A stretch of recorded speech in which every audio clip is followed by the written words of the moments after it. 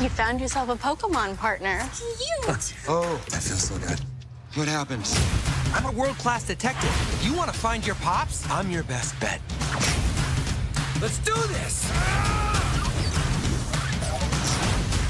No, no, we're not doing that. Fine, I'll walk. I'm trying to get in 100,000 steps this hour. Your childhood bed is a Pikachu bed. I've never been so flattered and creeped out at the same time.